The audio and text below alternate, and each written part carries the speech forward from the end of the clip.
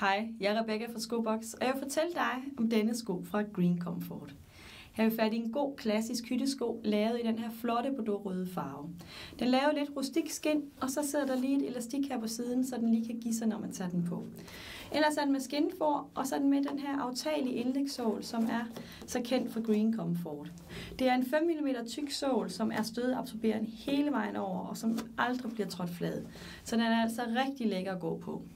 Har man behov for at lægge sin egen specielt lavet sål i, kan man jo fjerne den sål, der er der i, så er der simpelthen god plads til sin egen sål. Ellers så rummer den her altså rigtig godt i bredden og også opad til tæerne.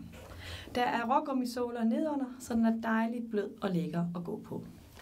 Har du lyst til at vide mere om skoen, så spørg mig eller kig forbi.